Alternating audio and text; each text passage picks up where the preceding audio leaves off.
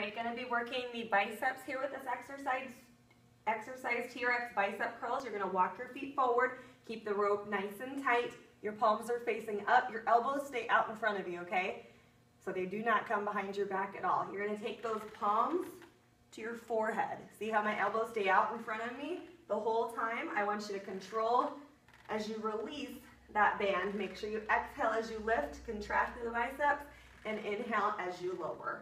Keep the band nice and tight throughout the range of motion.